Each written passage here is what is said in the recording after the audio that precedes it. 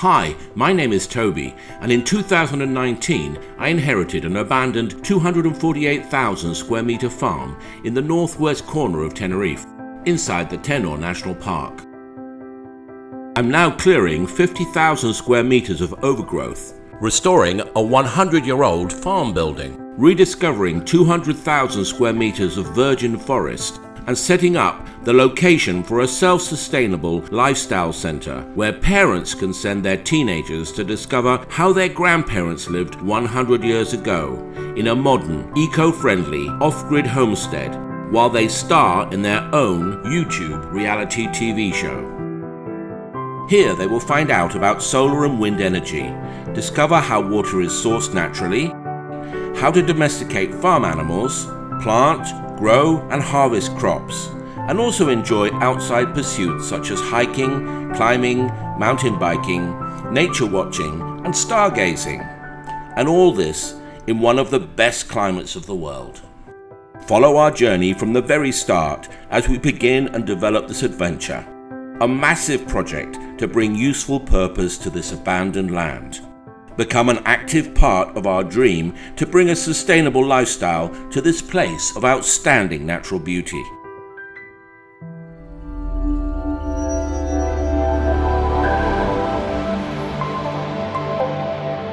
We are the Buenavista Rural Club. Old ways, new paths. So the question is, where does one begin? Here, in this room, there are plants everywhere. They all need to be taken out. There's bits of wood, wooden beams that have collapsed. Collapsed roof needs to be taken off completely. The wall needs to be rebuilt. First of all, all the vegetation needs to be taken out of here. The rocks piled up so they can be used again in the construction of the wall. Measurements need to be taken of the room. Approximately one, two, I'd say three meters, probably by four and a half. One, two, three, yeah, four meters, I would say, three by four meters. And that all needs to be shored up roof needs to be re-roofed. Then in here, that window needs to be done. Plaster needs to be taken off the wall. The roof needs to be taken off eventually and replaced. In this room, the roof needs to be taken off, needs to be replaced, and the walls need to be repaired, particularly over here. The floor needs to be screeded. The patio is a special project, as we know, um, and it will be done slowly but surely. And this room needs to be emptied, all the vegetation taken out. We need to decide what to do with the vegetation. One of the things that we could do with the vegetation is put it into this garden here. That wall needs to be re rebuilt uh, nicely. I think that could be very well made out of stone. But that needs to be demolished first. And then foundations need to be laid for it so a proper wall can be built in there. And the gates can be put back on the back if indeed that's what we decide to do. Or extend the wall all the way over to here so we have half the water tank in our possession and put a tap on the other side for them. That's possible.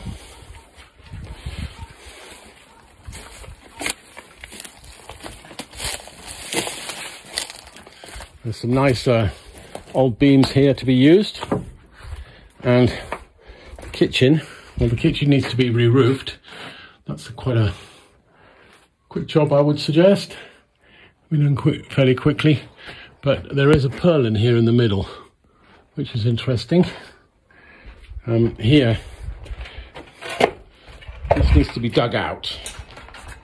Something needs to be done there with the gutter edge, but I did put in a, a metal beam there so we can do something. You our, a rebar. This gap needs to be filled, and particularly from the other side. Um, and we need to finish the roof line all the way round, all the way round. Particularly this gutter side needs to be decided what to do with it. Then here on this wall, it needs to be remade with small stones and brought right up to the top so that we get a, a nice finish here. And then this wall needs to be remade and it needs to be taken right up to the top. A very important project in any homestead or off-grid has to be the toilet. And um, here in the Buenavista Rural Club, we don't have a toilet. We have plans for one, but we don't actually have a toilet. But our next door neighbors that we've often been to visit, they do. They have a toilet in here. Now, I've given it a little bit of a clean up in here. We have seen this toilet in previous videos, and I will show you a clip of how it used to look like in here.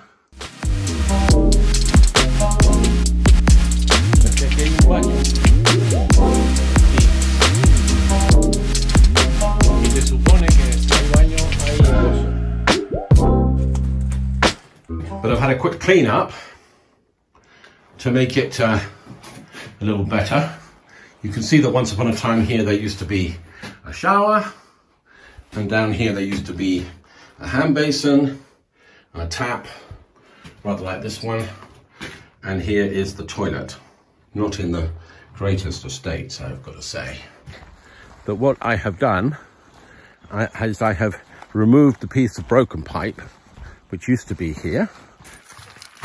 That's the uh, piece of broken pipe that used to be here.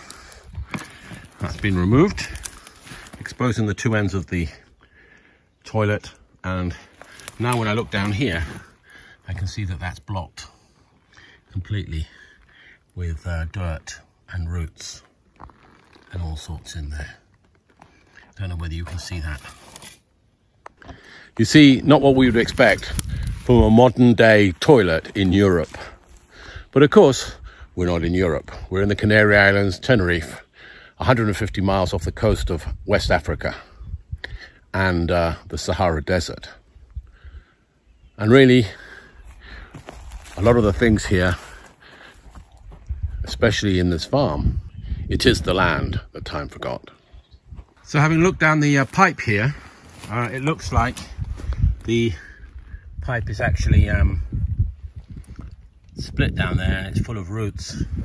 So I'm afraid that I've had to go and get the uh, tools out and I'm going to have to dig that out I think and have a little good look at it and see whether it can be rescued or whether it's a lost cause. So this is the tube that exits from the toilet. Then there's a U-bend that comes and brings it down to this pipe.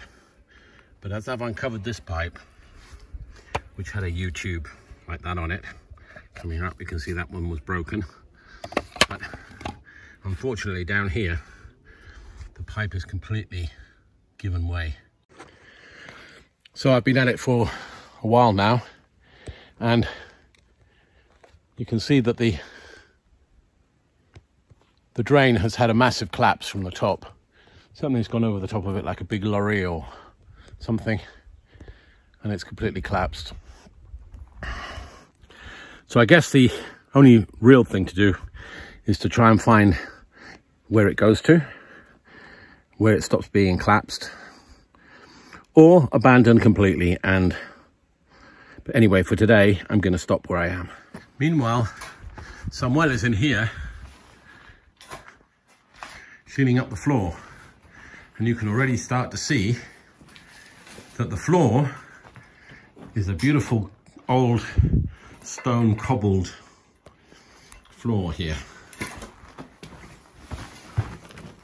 in the barn.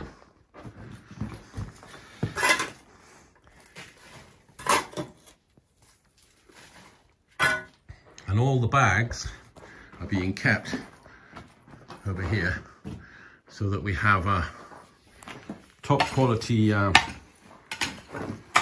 soil because this has been fertilized by animals for hundreds of years. Well, 400 years at least.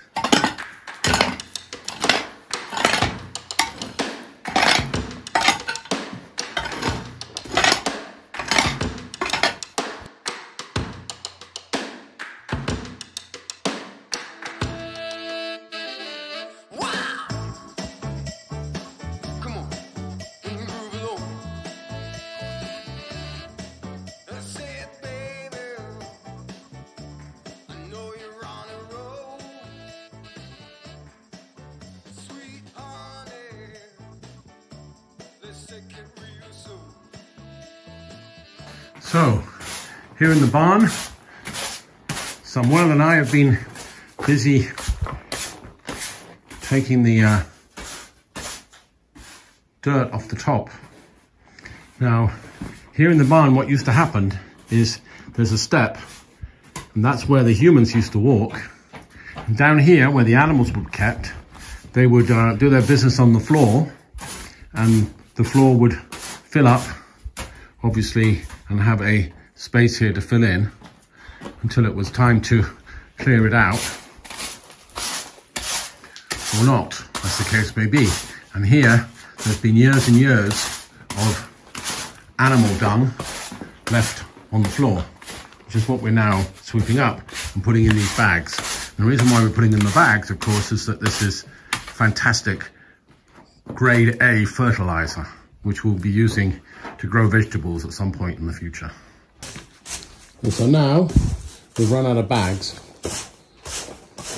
That's about uh, 30 or 40 bags there. So all the rubbish is collected on the side. We've discovered a big trench along the side here.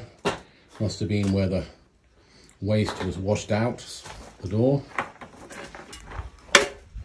And we've run out of bags, so we're piling it in the corner and we'll put it in bags another day.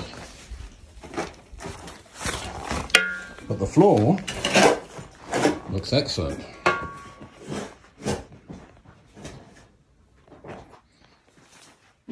With a bit of a clean up and obviously with a tidier type of um, what's it called painting and we'll point it all at some point.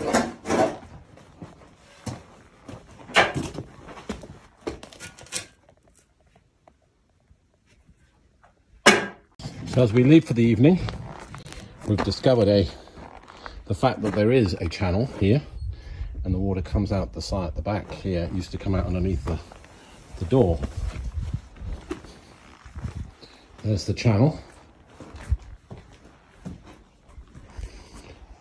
And this beautiful stone floor that was underneath it, underneath all the cow shed, has been revealed. As we look down the, the room now, it's a completely different view.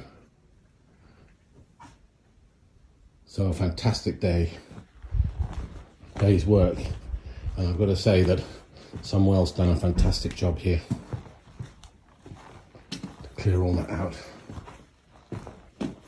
And there it all is in bags, ready to go on the allotment.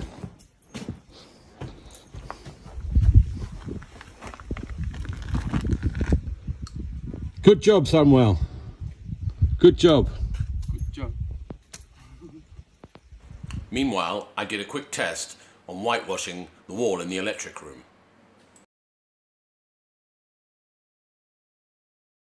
Well, I've come up to the farm here at the Buena Vista Rural Club today, Saturday, on my own. It's a beautiful sunny day here in northwest Tenerife. And I've been working at the plumbing. Yesterday on Friday I was digging out the sewer pipe. Today I've continued that across the road. The clubhouse. And I've got a little way to go. You can see here we dug a, a very deep hole to try and find the end of that pipe, but couldn't find it. So I started from the other end. And you can see the pipe is in appalling condition. No wonder the toilets don't work and haven't worked for some time by the looks of it. Anyway, I'll show you a little bit more in a little while.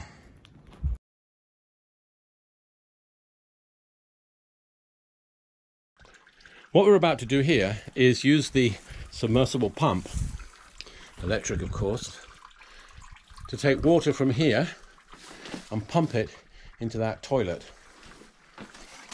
that we're working on here. I mean large quantities of water at high pressure so as to clear whatever's blocking that toilet.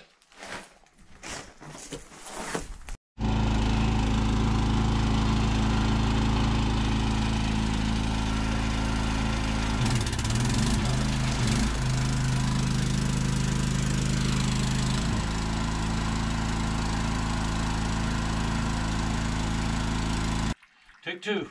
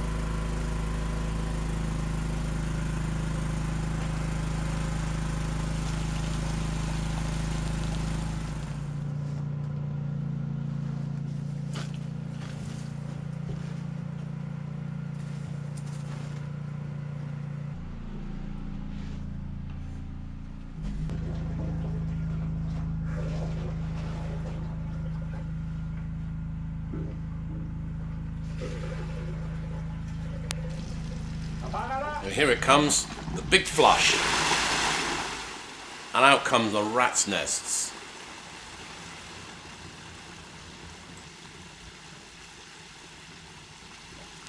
Job done, toilet unblocked.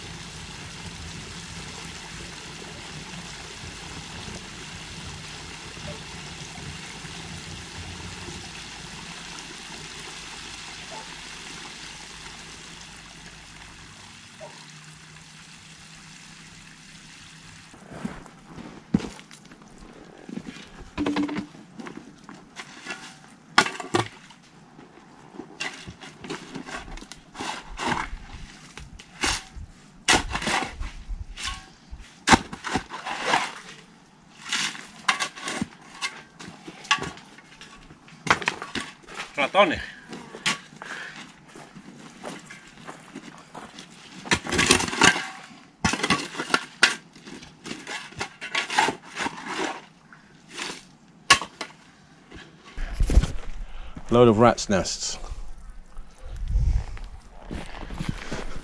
Mira, abajo ahí, está ahí. Venga. Ahora con la pala, abre eso como un canal para abajo. Slope. From here to there.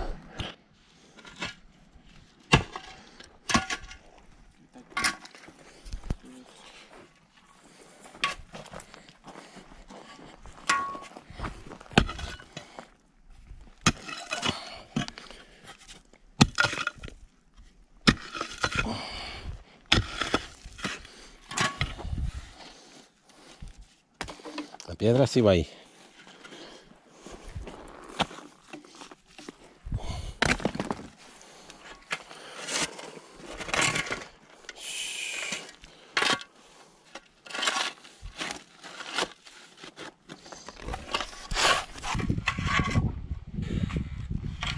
Salió así. Creo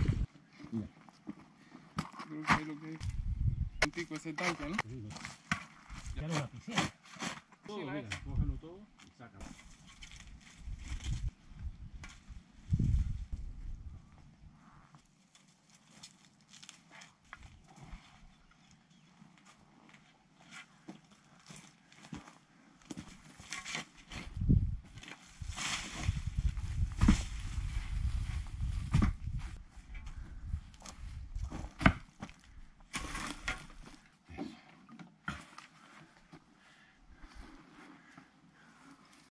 Okay, so now we're just going to prove, again, with a bucket of water, that the line is clear.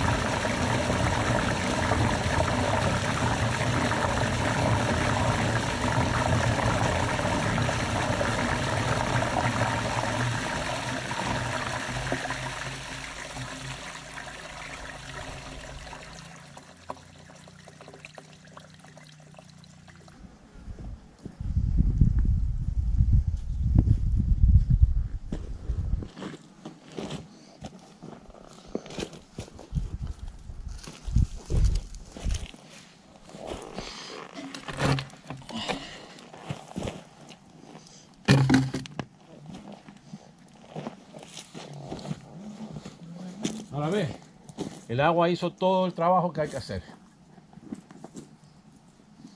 ¿Sabe usted? Sacar las piedras a mano aquí, las grandes, sacarlas para allá, ¿ok? Vete sacándolas. Así con las manos. ¿Vale? Mira, el, el pedazo de cemento ese también. Este, este aquí en la boca. Ya lo saco.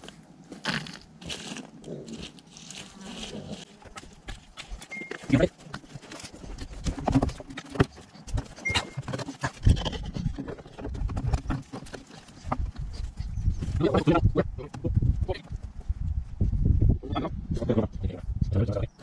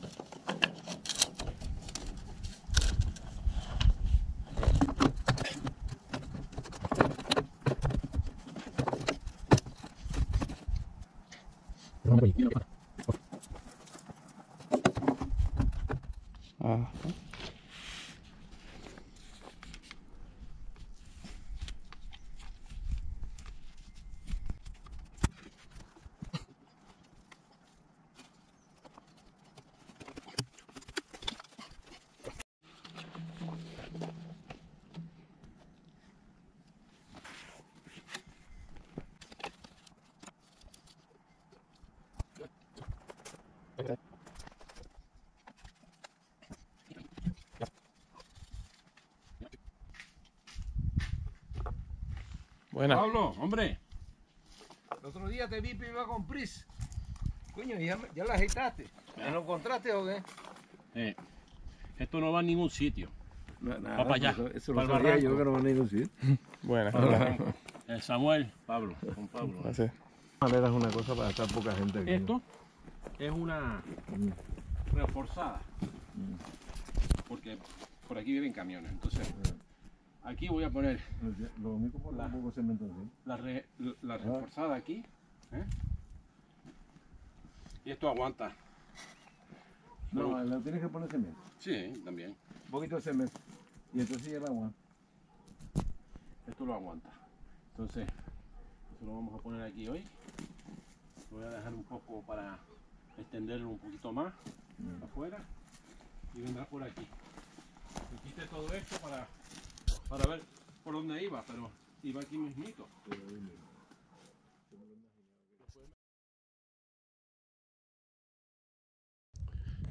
Hello, what's up? Good morning. I'm up here on the roof of the workshop. And today, what we're going to be doing is we're going to be waterproofing along this edge here to start water hole there, that spout. And we're going to be doing that with a substance called marmolina. It's a white powder, like this. It gets mixed up, goes very hard. And I'm going to be making a sort of uh, triangle there. A bit like what Jose did over here, but a bit bigger. We can also see that the hot weather has begun to crack the uh, the cement that Jose did and um, that needs attention because otherwise we'll have cracks everywhere. So let's get on with it. So here we have it. The marmolina has been put in here. Marmolina will dry very hard and waterproof. And the idea is that the water will now no longer sit along the wall. It may need some more. I don't know, I'll have to see when it dries.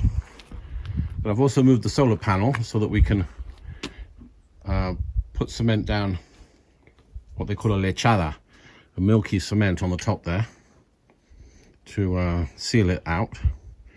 And then this will be ready for painting with the epoxy paint.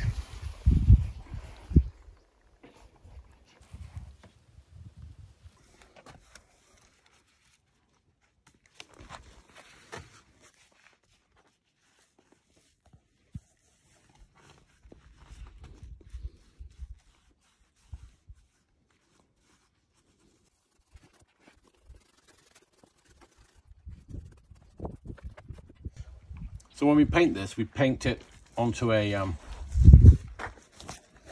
onto a, a cloth.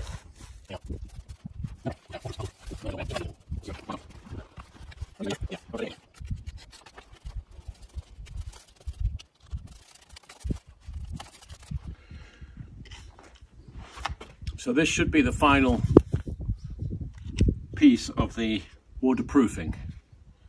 After this, the roof should be waterproof. We'll have a look at that uh, Samuel over there, where we've put the marmolina today. Marmolina, I don't know what it is in English. Um, it's like a sand. and It dries very, very hard. And that should waterproof it. And then this will have a coat of this waterproof paint over it once it's completely dry. Obviously not today.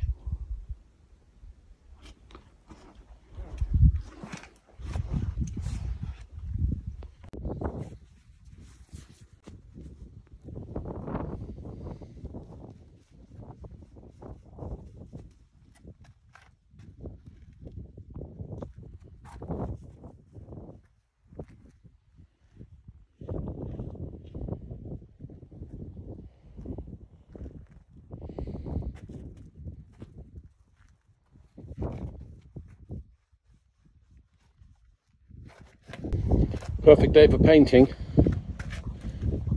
We've got cloud cover, no sun, not much wind, although there is a bit.